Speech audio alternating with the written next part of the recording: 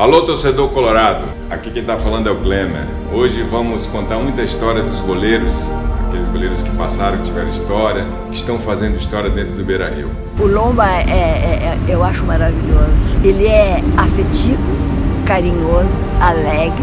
Já o, o Danilo é mais, mais é. sério, mais sisudo, assim, sabe? Não perca, valeu, um grande abraço.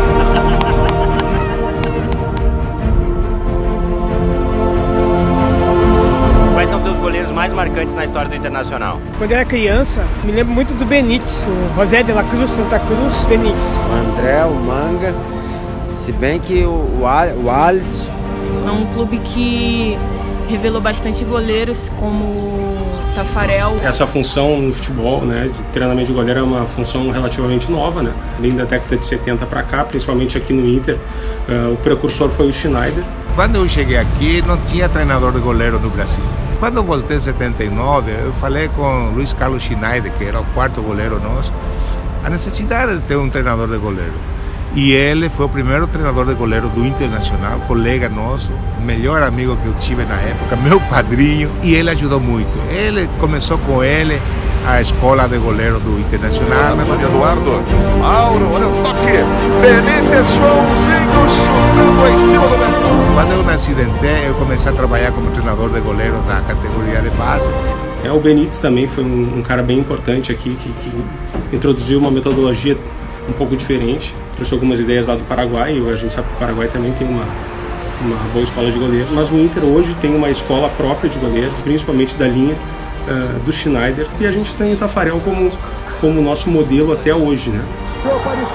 tentativa Tafarel, Tafarel salvou, Cuca de novo, pra trás. O Wilving vai chegar ao Inter né, na, no início da década de 40 e vem depois de ter sido escolhido um melhor goleiro do Citadino, né? Começa a jogar no rolo compressor e vai encerrar inclusive a carreira no Inter nessa década de 40, né? Ele joga toda a década, o restante da década de 40 no clube se tornando talvez o, o primeiro goleiro assim, de destaque né, nessa era profissional aí do clube, a partir da, da profissionalização ali dos anos 30. O Gainete, o Gainete acho que foi na inauguração. É, eu me lembro da, da briga do Grenal, que eu acho que só tava o Gainete de campo, que o resto não foi, era uma briga só, né? O Gainete já foi um recordista em, em minutos sem tomar gol, né? Com a camisa do Inter. Era simpático, o Gainete era muito simpático. Tem, tem uns, uns goleiros que são mais sérios, né? O Manguito também ele era antigo, né? Levantei o tricampeonato, campeonato gaúcho, bicampeão brasileiro, para mim foi um orgulho para mim. Ainda mais para essa gente de internacional, tanto merece. Espetacular Manguinho! Ah, o Manga era bom porque pegava tudo, né? Com as mãos tortas dele, tinha as mãos tortas.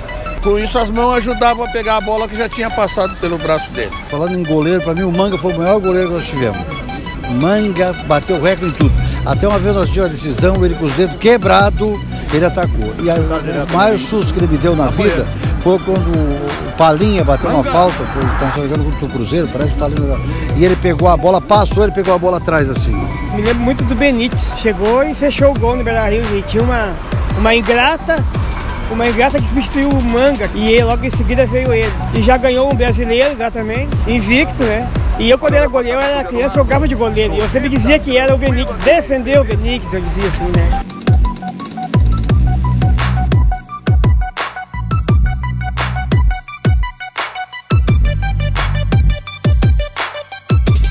Era bom esse aqui?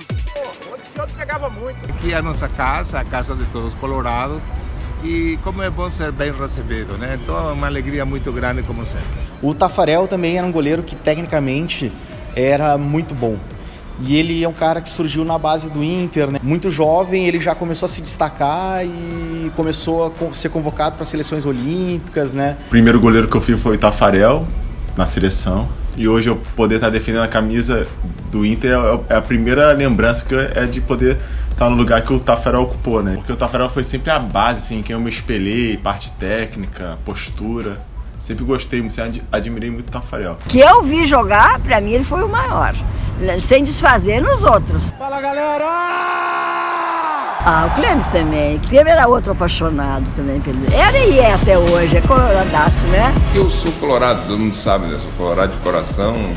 É, gosto muito do clube, gosto muito do clube, torço, né? Isso me dá uma satisfação que tive nos momentos mais importantes do, do Internacional em relação à conquista, as primeiras conquistas mais importantes, eu estava junto. Um chute que o Deco avança pela meia direita ali e ele dá um chute um chute cruzado que a bola vai no ângulo e ele dá aquele salto de mão trocada que era marca registrada dele.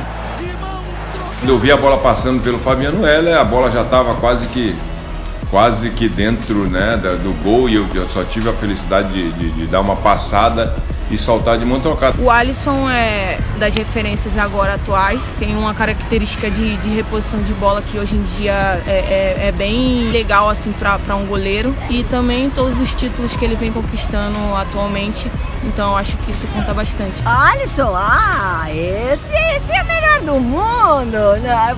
pode dizer que não, mas para mim não tem no mundo inteiro goleiro melhor que o Alisson. Olha o que ele está fazendo lá no exterior. E olha o que ele vai voltar para nós ainda. ele falou que é Ele vai se, se, se, aposentar aqui. E o Lomba, não, não tem que falar do Lomba, ele é. Ele é, nem tenho pra, palavras para falar disso. Mas é, eu tenho certeza que o Internacional ainda vai conquistar muita coisa com ele no gol. Lomba já fechou o gol contra o Palmeiras, agora ele vai fechar o gol de novo contra o Nacional lá de Montevidéu. Lomba é um baita no goleiro, um ótimo goleiro. Pô, eu agradeço, o apoio sempre é bem-vindo.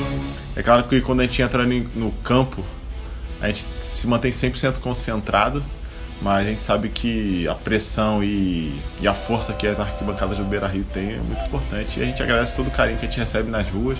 É muito bom poder viver um momento como esse, que o Inter vem crescendo, vem chegando nas competições. E a gente, a gente espera que isso continue.